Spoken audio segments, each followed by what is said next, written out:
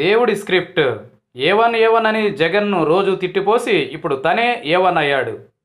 ఈ వారం trendy password అనండి హ్యాష్ ట్యాగ్ అనండి బ్లాక్ మ్యాజిక్ చేతబడి ఇంకొకటి ఉంది. దేవుడి స్క్రిప్ట్ గాడ్ స్క్రిప్ట్. ఢిల్లీలో మాజీ కేంద్ర మంత్రి చిదంబరం దగ్గర నుంచి నెల్లూరులో మాజీ రాష్ట్ర మంత్రి సోమిరెడ్డి వరకు దేవుడి స్క్రిప్ట్. ఎప్పుడూ ఏ వన్ ఏ వన్ అంటూ జగన్ను వెక్కిరిస్తూ ఒంటి కాలు మీద విరుచుకుపడుతూ ఉంటాడు నెల్లూరుకి చెందిన తెలుగుదేశం నాయకుడు సోమిరెడ్డి చంద్రమోహన్ రెడ్డి. తెలుసు కదా? ఇప్పుడు తనే ఏ వన్ అయ్యాడు ఓ కేసులో? అది ఓ భూ కబ్జా కేసులో. అది ఓ తప్పుడు రికార్డుల కేసులో.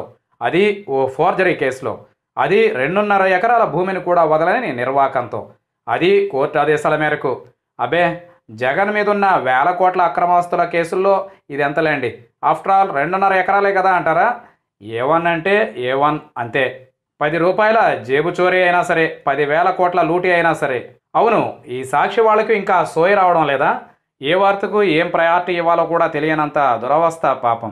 ఓ మాజీ మంత్రి ఫోర్జరీ కేసులో బుక్ అయితే ఎక్కడో చివరి పేజీలో రెండు కాలాలు మొహమాటంగా రాసి వదిలేస్తారా?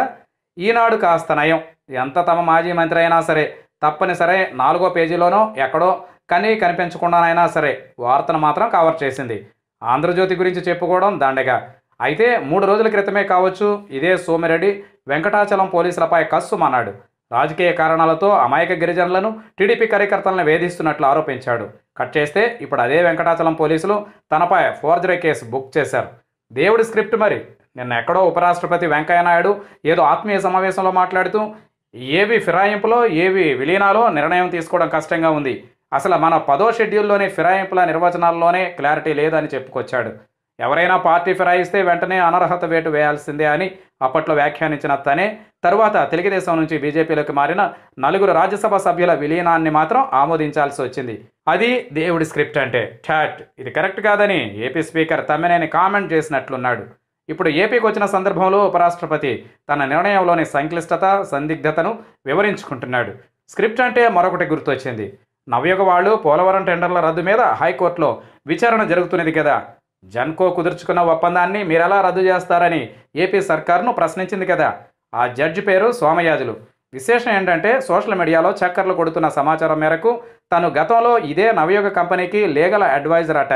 అంటే ఒకప్పుడు న్యాయ సలహాదారుగా ఉన్న తనే ఇప్పుడు ఆ కంపెనీకి సంబంధించిన కేసు విచారిస్తున్నట్ల నిజానికి ఇలాంటి సందర్భాల్లో నాట్ బిఫోర్ మీ అని ఆ కేసుల్ని అవాయిడ్ చేస్తుంటారు. మరి అడ్వకేట్ జనరల్ కూడా ఎందుకు ప్రస్తావించలేదో అంటే తప్పనిసరిగా అవాయిడ్ చేయాలని కాదు. కానీ చేస్తే బాగుండేదని అంటారు. ఎంత కేసు మెరిట్ను బట్టి తీర్పు వెలువరించినా సరే అనవసర అపోహాలకు తావివ్వకూడదనే భావనతో జడ్జీలు నాట్ బిఫోర్ మీ అంటుంటారు.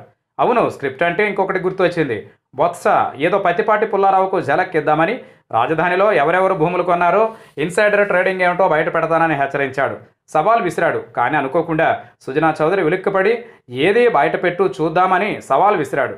బొత్స అప్పటికప్పుడు తన దగ్గర ఉన్న సమాచారంతో నూట పది ఎకరాల పై చిలుకు కొన్ని వివరాలు బయటపెట్టాడు.